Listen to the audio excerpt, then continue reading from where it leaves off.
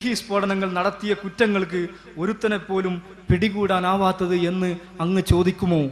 എന്ന് പറഞ്ഞ് തങ്ങളുടെ സ്ഥാനമാനങ്ങൾ നിലനിർത്താനും ഇത് നിങ്ങൾ ശ്രദ്ധിച്ച് മനസ്സിലാക്കിക്കോ. തങ്ങളുടെ സ്ഥാനമാനങ്ങൾ നിലനിർത്താനും സ്പെഷ്യൽ സ്ഥാനമാനങ്ങൾ നിലനിർത്താനും പാരിതോഷ്യങ്ങൾ വാരിക്കൂട്ടാനും ഭീകരരെ ഉണ്ടാക്കിയെടുക്കുകയാണ് സ്പെഷ്യൽ സെൽ ചെയ്യുന്നത്.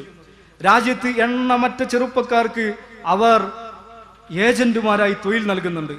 നാമമാത്രമായ ശമ്പളത്തിൽ ഒരുതരം കരാർ വ്യവസ്ഥയിലുള്ള ജോലി. മതിയായ പോലീസ് സംരക്ഷണവും ഒരു മൊബൈൽ ഫോണും ലഭിക്കുമെന്ന ആകർഷണമേ ഇതിനുള്ളൂ. എവിടെയെങ്കിലും താമസ സ്ഥലം സംഘടിപ്പിക്കാനും സമയം കിട്ടുമ്പോഴൊക്കെ നഗരത്തിൽ ചുറ്റി നടന്ന് ബന്ധങ്ങൾ ഉണ്ടാക്കുവാനാണ് ഏജന്റുമാർ ഞങ്ങളോട് ആവശ്യപ്പെടുന്നത്.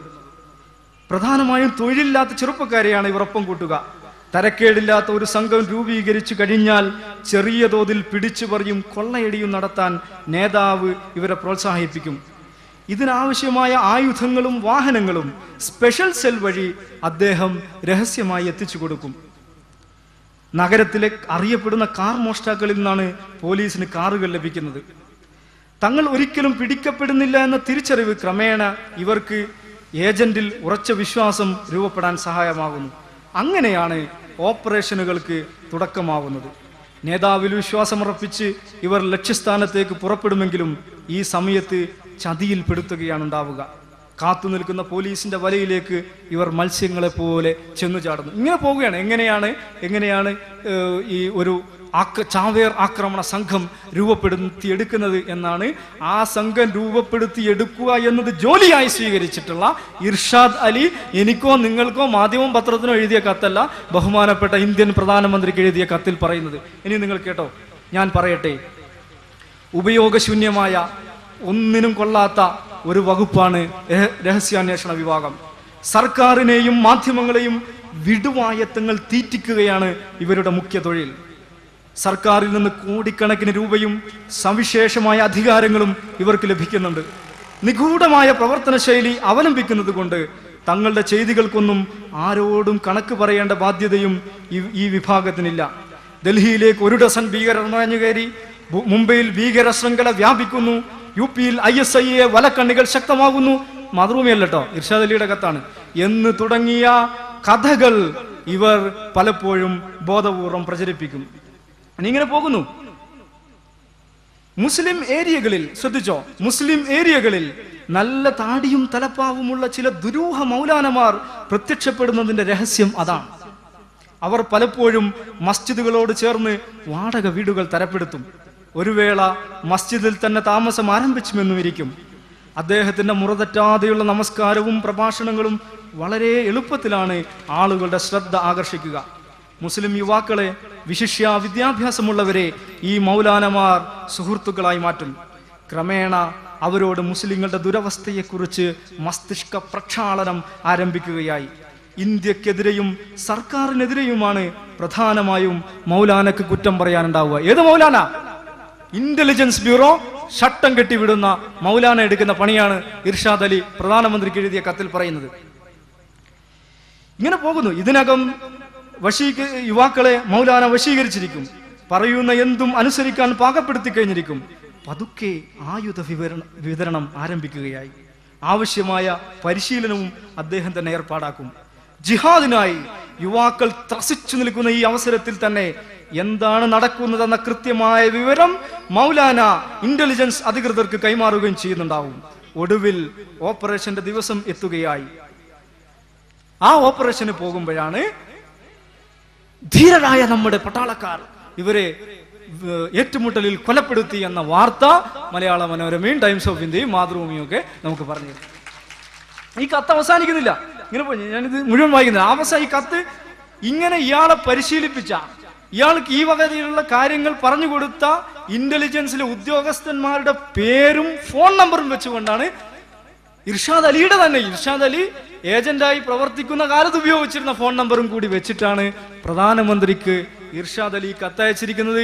ഈ കത്ത് രാജ്യത്തെ പ്രമുഖമായ ഒരുപാട് വെബ്സൈറ്റുകളിൽ ഹിന്ദുസ്ഥാൻ ടൈംസ് പോലെയുള്ള പത്രങ്ങളിൽ പ്രസിദ്ധീകരിക്കപ്പെട്ടിട്ടുണ്ട്. ഐ പി എച്ച് പുറത്തിറക്കിയ എ റഷീദുദ്ദീന്റെ പുസ്തകത്തിലും ഈ കത്ത് എടുത്തു ചേർത്തിട്ടുണ്ട്. നിങ്ങളൊന്ന് ആലോചിച്ച് നോക്കും. ഈ ഒരു പാറ്റേണിനെ കുറിച്ച് ആലോചിച്ച് നോക്കും. ഇനി ഇത് വായിച്ചതിന് ശേഷം നമ്മളുടെ തടിയന്റെ ഇവിടെ നസീർ എന്ന് പറഞ്ഞ ഒരാളുണ്ടല്ലോ. ഈ മുത്തഫക്കുൻ അലൈഹി എന്ന് പറയും ഈ ഹദീസിന്റെ ആൾക്കാർ ഈ മുത്തഫക്കുൻ അലൈഹി എന്ന് പറഞ്ഞാൽ പിന്നെ തിരിഞ്ഞു നോട്ടയില്ല വിശ്വസിച്ചോളന്നാണ്. മുത്തഫക്കുൻ അലൈഹി അത് അതാണ് അതാണ് ഹദീസ്. അതേമാതിരിയായിരിക്കുന്നു ഇപ്പൊ തടിയന്റെ അവിടെ നസീർ. തടിയന്റെ അവിടെ നസീർ പറഞ്ഞോ എന്ന് മാതൃഭൂമിയോ മനോരമയോ പറഞ്ഞാൽ പിന്നെ ചോദ്യമില്ല.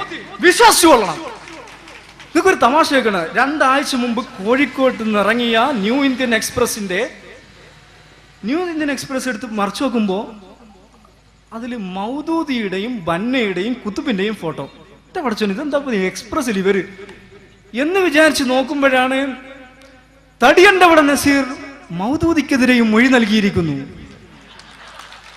ബന്നക്കെതിരെ മൊഴി നൽകിയിരിക്കുന്നു. കുത്തുബിനെതിരെ മൊഴി നൽകിയിരിക്കുന്നു. ഇനി എന്താ അടുത്താഴ്ച നടക്കാൻ പോവാന്നറിയോ? ഇവരുടെ കുഴിമാടം പരിശോധിക്കുവാൻ തച്ചങ്കരി പോണോ വിനോദ് കുമാർ പോണോ എന്ന് പറഞ്ഞ് രമേശ് ചെന്നിത്തലയും കുഞ്ഞാലിക്കുട്ടികളെ കടകട ടി വിയിൽ വന്ന് ബഹളം വെക്കുന്നതാണ് എനിക്ക് കാണാൻ പോകുന്നത്. വഷളത്തരം. അപ്പൊ ഞാൻ പറഞ്ഞു ഒരു തടിയന്റെ ഇവിടെ നസീർ. ആരാണ് ഇയാൾ?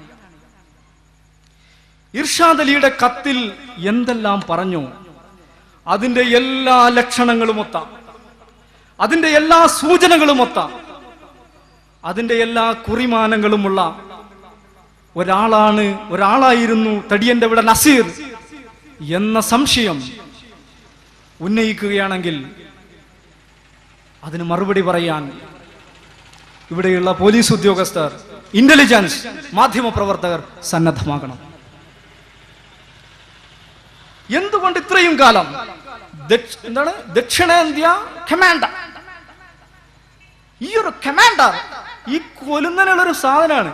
ഈ ഒരു ദക്ഷിണേന്ത്യ കമാൻഡർ ഇത്രയും കാലം നമ്മളുടെ നാട്ടിൽ തേരാപേര നടന്നിട്ട് മൂപ്പര് ബന്ധപ്പെടാത്ത ആളില്ല. ഇങ്ങനെയുള്ള ഒരു മനുഷ്യനെ എന്തുകൊണ്ട് പിടിച്ചില്ല? ഒരിക്കൽ പിടിച്ചു എന്നാണ് പറയുന്നത്. നസീറിന്റെ അമ്മായി ഭാര്യയുടെ അമ്മ നമ്മളോട് പറയുന്നതാണ് പത്തഞ്ഞൂറ് പോലീസുകാരെ ഒന്ന് പിടിച്ചു. എന്നിട്ട് കുറെ കഴിഞ്ഞിട്ട് പോലീസിനെ വന്ന് പറയാം ഓൻ പോയിട്ടോ? എന്താവൂലേ അഞ്ഞൂറ് പോലീസുകാർ ഒരാളെ വളഞ്ഞിട്ട് പിടിച്ചിട്ടോ പോവാന്ന് പറഞ്ഞാൽ അവൻ പോകേണ്ടിടത്താണ് പോയത്. അവൻ എവിടെയാണോ പോകണം എന്ന് ഇന്റലിജൻസ് ഉദ്ദേശിക്കുന്നത് അവിടത്തേക്കാണ് പോയത്. ഈ സ്വഭാവത്തിൽ മുസ്ലിം സമൂഹത്തിൽ ചെറുപ്പക്കാരെ വഴിതെറ്റിക്കുവാൻ നാട്ടിൽ ഛിദ്രതയുണ്ടാക്കുവാൻ ഭീകര പ്രവർത്തനങ്ങൾ നടത്തുവാൻ ആക്രമണങ്ങൾ സംഘടിപ്പിക്കുവാൻ ക്രിമിനലുകളെയും ദേശദ്രോഹികളെയും വളർത്തിയെടുത്തുകൊണ്ടിരിക്കുന്ന സംവിധാനങ്ങൾ ആരാണ്? വ്യക്തികൾ ആരാണ്? ഗ്രൂപ്പുകൾ ആരാണ്? എന്ന് വെളിച്ചത്ത് വരേണ്ടതുണ്ട്. ഒരുപാട് താല്പര്യങ്ങൾ ഇങ്ങനെ ഒത്തുവരികയാണ്. ഒരുപാട് താല്പര്യം സി ഐ എക്ക് അവരുടേതായ താല്പര്യം ഉണ്ടാവും. സി ഐയുടെ താല്പര്യം എന്നൊക്കെ ഞാൻ വെറുതെ ഒരു പ്രസംഗ സുഖത്തിന് വേണ്ടി പറയില്ല കഴിഞ്ഞ ഏതാനും ഒരു മാസത്തോളം എന്താണ് ദേശീയ മാധ്യമങ്ങളുടെ ചർച്ച നിങ്ങൾ നോക്കിയിട്ടില്ലേ? ഹെഡ്ലി. റിച്ചാർഡ് കോൾമൻ ഹെഡ്ലി അപസർപ്പക സ്വഭാവത്തിൽ ആണ് കഥകൾ വരുന്നത്. ഈ ഹെഡ്ലി ആദ്യം പറഞ്ഞത് ലഷ്കർ ഏജന്റ് ആണെന്നാണ് പിന്നെ പറഞ്ഞു എഫ് ബി ഐയുടെ ഏജന്റ് ആണ് കസബ് കോടതിയിൽ പറയുന്നത് ഈ എഫ് ബി ഐ സംഘത്തിൽ നിന്ന് എന്നെ ചോദ്യം ചെയ്യാൻ വന്നവരിൽ ഈ ഹെഡ്ലി ഉണ്ടെന്നാണ് കസബ് പറയുന്നത്. ഹെഡ്ലിയുടെ യാത്രാരേഖകൾ പരിശോധിക്കുമ്പോൾ അയാൾ ഇവിടെ വന്നതിന് ശേഷം പാകിസ്ഥാനിലേക്കാണ് പോകുന്നത്. നേരത്തെ അമീർ സൂചിപ്പിച്ചതുപോലെ ഇന്ത്യയെ തകർക്കുക എന്നത് സി ഐ എയുടെ ലക്ഷ്യമാണ്. ഇന്ത്യയെ തകർക്കുക എന്നുള്ളത് പാകിസ്ഥാന്റെ ലക്ഷ്യമാണ്.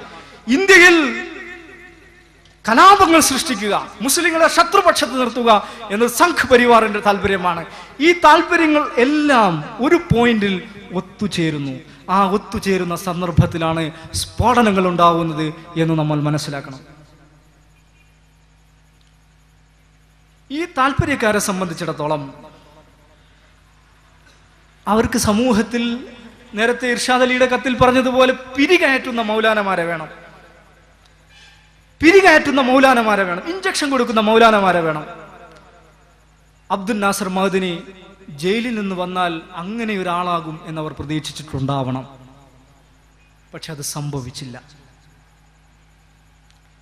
അദ്ദേഹം തന്റെ ഭൂതകാലത്തെ തന്നെ തള്ളിപ്പറഞ്ഞു. ഭൂതകാലത്തെ അതിവാദങ്ങളെ അദ്ദേഹം തള്ളിപ്പറഞ്ഞു. രാഷ്ട്രീയ ലൈനിലേക്ക് ഈ ബഹുസ്വര സമൂഹത്തിന്റെ പ്രത്യേകതകളെ മനസ്സിലാക്കി വ്യത്യസ്തമായ ഒരു ലൈനിലേക്ക് ഞാൻ പോവുകയാണ് എന്ന് പ്രഖ്യാപിച്ചു. അപ്പോഴതാ വരുന്നു തടിയന്റെ അവിടെ നസീർ. മൊയ്യിലുള്ളതാണ്. നസീറിന്റെ മൊയ്യിലുള്ളത് എന്നും മാതൃഭൂമി നമ്മളോട് പറഞ്ഞതാണ്. ജനാധിപത്യ മാർഗം ഉപേക്ഷിക്കണം എന്ന് മഹദനിയെ ഉപദേശിക്കാനാണ് ഇവർ വരുന്നത്. സാമാന്യ ബുദ്ധിയുള്ളവർ ആലോചിച്ചോ? എന്താണ് ഈ നാടകങ്ങൾ ഈ നാടകങ്ങളുടെ പിന്നാമ്പുറ കഥകൾ? അങ്ങനെയാണ് മഗ്ദനിയെ തങ്ങൾ ഉദ്ദേശിച്ച നിലയ്ക്ക് കിട്ടുകയില്ല എന്ന് കണ്ടപ്പോ അതേസമയം കേരളം ഇപ്പറയുന്ന ഉത്തരേന്ത്യയിലുള്ള അവസ്ഥയിൽ നിന്ന് വ്യത്യസ്തമായുള്ള ഒരു സംസ്ഥാനമാണ് ഇവിടെയും അലമ്പുണ്ടാക്കണം ഇവിടെയും കുഴപ്പമുണ്ടാക്കണം എന്നുള്ള ഒരു താല്പര്യം കൂടി ഒത്തുവന്നപ്പോ നമ്മളുടെ നാട്ടിൽ ഭീകരമായ കഥകൾ പ്രചരിപ്പിക്കുവാനുള്ള ഒരു ഒരു ഒരു സന്ദർഭം എന്നുള്ള നിലയിൽ പൊടുന്നനെ തടിയന്റെ ഇവിടെ നസീറും അബ്ദുൽ നാസർ മഹദനിയും സൂഫിയ മഹദനിയും രംഗത്ത് വരുന്നത്. ഇത്രയും കാലത്ത് ഭീകരാക്രമണങ്ങൾ ഇന്ത്യയിൽ നടന്ന ഭീകരാക്രമണങ്ങൾക്ക് ശേഷവും ഒരു വനിതാ ഭീകരവാദി എന്നുള്ള നിലയ്ക്ക് ദേശീയ തലത്തിൽ നിലനിന്ന ഇമേജ് സ്വാധി പ്രജ്ഞാ സിംഗിന്റെതായിരുന്നു സ്വാതി പ്രജ്ഞാ സിംഗിനെ അറിയുമോ നിങ്ങൾക്ക്?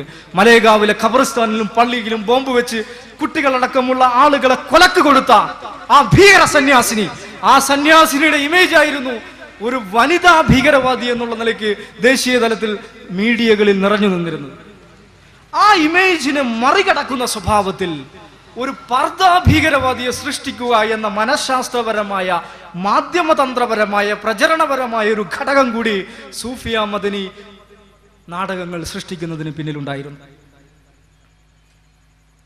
ഒരുപാട് ഞാൻ അതാ പറഞ്ഞ ഒരുപാട് താല്പര്യങ്ങളും ഒരുപാട് ഘടകങ്ങളും ഒത്തുവരുമ്പോഴാണ് ഇത് സംഭവിക്കുന്നത്. അതിൽ പ്രധാനപ്പെട്ട ഒരു ഘടകമാണ് ഞാൻ നേരത്തെ പറഞ്ഞ കേരളത്തിന്റെ ഈ അവസ്ഥ. കേരളം ഇങ്ങനെയാ പറ്റൂല. എന്നാലോചിക്കുന്ന ആളുകൾ സംഘ് പരിവാറിലുണ്ട് ഇന്റലിജൻസ് ബ്യൂറോയിലുണ്ട് മൊസാദിലുണ്ട് ഐ എസ് ഐയിലുണ്ട്. അതിനെ തകർക്കുവാൻ വേണ്ടിയുള്ള ഒരു പദ്ധതി. ആ പദ്ധതിയുടെ ആ ഒരു ആസൂത്രണത്തിന്റെ ആ ഒരു ആലോചനയുടെ ലാഞ്ചന. അതിന്റെ ഒരു തുടിപ്പ് നമുക്ക് ലവ് ജിഹാദിൽ തന്നെ കാണാൻ കഴിയുമായിരുന്നു. ഒരർത്ഥത്തിൽ മനുഷ്യ ബുദ്ധിയുള്ള മനുഷ്യർക്കൊന്നും വിശ്വസിക്കാൻ പറ്റാത്ത ഒരു അന്തം കെട്ട വർത്താനൽ നാലായിരം കുട്ടികളെ കൂട്ട് അങ്ങ് കൂട്ടിക്കൊണ്ടുപോയി. ഇത് ആരാണ് വിശ്വസിക്കുക? നാലായിരം പെൺകുട്ടികളെ മുസ്ലിം ചെറുപ്പക്കാർ മൊബൈൽ ഫോണും ബൈക്കുമായി വന്ന് തട്ടിയെടുത്ത് കൊണ്ടുപോയി. നമ്മളെ വെള്ളാപ്പള്ളി നടേശൻ ഇത്ര കൂടി പറഞ്ഞു അവിടെ അവരെ പാകിസ്ഥാനിൽ കൊണ്ടുപോയി വിറ്റു. ഇവരെ ഉപയോഗം കഴിഞ്ഞ് പാകിസ്ഥാനിൽ കൊണ്ടുപോയി വിറ്റു. ഈ ഉപയോഗം ഇതെന്താ ഉണ്ണിത്താനം. ഈ മാതിരി അസംബന്ധം നിറഞ്ഞ വൃത്തികെട്ട പ്രചാരണം. ആരാ നടത്തുന്നത്? കുമ്മനം രാജശേഖർ നടത്തിയാൽ നമുക്ക് വിശ്വസിക്കാം. പ്രവീൺ ഭായ് തൊഗാഡിയ നടത്തിയാൽ നമുക്ക് വിശ്വസിക്കാം. എം പി വീരേന്ദ്രകുമാറിന്റെ മാതൃഭൂമി. മാത്തുക്കുട്ടിച്ചായന്റെ മലയാള മനോരമ. എം കെ മുനീറിന്റെ ഇന്ത്യ വിഷൻ. വിഷം കലർന്ന പ്രചാരണങ്ങൾ. നാട് മുഴുവൻ കെട്ടഴിച്ചു വിട്ടു. കോടതിയെ വരെ സ്വാധീനിക്കുന്ന തരത്തിൽ വൃത്തിഹീനമായ അറപ്പുളവാക്കുന്ന പ്രചാരണങ്ങൾ. നാട് മുഴുവൻ കെട്ടയിച്ചു എന്തിനു വേണ്ടിയായിരുന്നു സുഹൃത്തുക്കളെ? ഈ ഒരു അന്തരീക്ഷം നമ്മുടെ നാട്ടിൽ സൃഷ്ടിക്കണം. ഇങ്ങനൊരു അവസ്ഥ നമ്മുടെ നാട്ടിൽ സൃഷ്ടിക്കണം. അങ്ങനെ ഈ ജനതയെ വിഭജിക്കണം. ഇവിടെയുള്ള മനുഷ്യാവകാശ ബോധം പുരോഗമന ബോധം ഹിന്ദുക്കൾക്കും മുസ്ലിങ്ങൾക്കും ഇടയിലുള്ള ഇഴയടപ്പം സ്നേഹബന്ധം അത് തകർത്ത് തരിപ്പണമാക്കണം.